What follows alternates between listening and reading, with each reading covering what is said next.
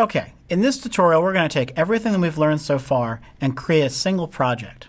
We're going to be manipulating objects using ActionScript by changing their properties, and we're also going to have a mouse event and also a timer event. So let's take a look at the structure of this finished project first before we start looking at the ActionScript code. So I have a FLA file here that has a couple of objects in the library. First one is the clock background, which is just the face of the clock. In this case, it's an orange circle. I then I have another object called the second hand.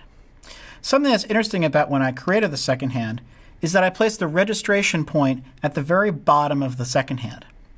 That's because I want to rotate the second hand in a circle.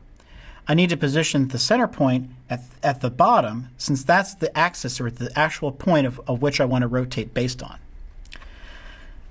If I go back to the scene, you'll see that I also have a start button, which is just a simple square that I have some text in. In my timeline, you'll see that I have an actions layer, start button layer, clock hands, and a clock background layer. So let's actually take a look at the code and start stepping through it.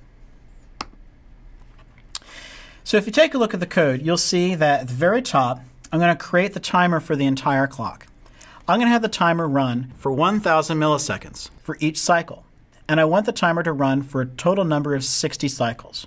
So in essence, the timer is going to run for a full minute. I then want to create an event handler for the button because I'm going to use the start button to actually kick kickstart the entire the entire clock itself. So I create a mouse event click handler here that's going to actually start the the callback function start timer. The next one that I have here are the events for the timer itself. If you remember in the last tutorial, we introduced the timer event and then the timer complete event. Each one is calling an individual uh, callback function, in this case, move hand and event timer. What I'm then going to do is I then have a function here called start timer, where I'm actually going to get uh, actually use the start method of the of the timer itself and actually get everything running. I'm going to base the start of the timer on when I click the actual start button. Let's go back to the FLA file and take a look at what I've named all the individual objects here. So in this case, the start button is called start button. And the, the actual second hand I've called second hand. So we're going to use those names in the code to be able to manipulate the different properties of these movie clips. So again, I have the start button here, and I'm accessing a new property called visible. What visible does is it turns on or turns off the display of these, but they're still part of the display stack. So in this case, I'm setting the visible, visible property of this to false meaning that it will no longer be visible. Later, if I wanted to make this visible again, I would change it to true.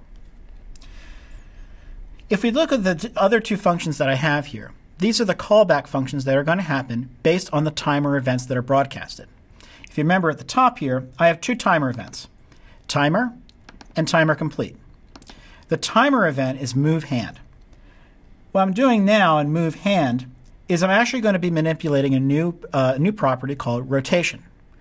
Rotation is going to accept a value in degrees of how much I want to rotate the object uh, uh, around, around its center point. If you remember, we set the center point to the very bottom of the object. In this case, I want to take the existing value of the rotation and I want to add 6 degrees to it. If you remember, an entire circle is 360 degrees. Since we're doing 60 seconds or 60 cycles and we want it to go all the way around, 360 divided by 60 is 6. I then have a trace statement that's just going to give me some visual output in the output panel that says that the, time, the timer cycle is expired. Then at the very bottom, I have the final uh, I have the final callback function, which is end timer. Which, if I go back up to the top, you'll remember that the timer complete event is broadcasted when all the cycles have been completely broadcasted by the timer. At this point, all it's doing is outputting a message to the output console called timer finished. So let's actually take a look at what this will look like when we run it. So when I run it, nothing happens because again, I haven't started the timer until I click the start button itself. So when I click start, it's then going to kick off the actual timer.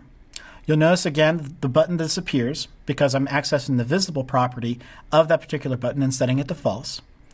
And after every cycle runs, the actual second hand is going to be going around in six degree increments all the way around the clock face.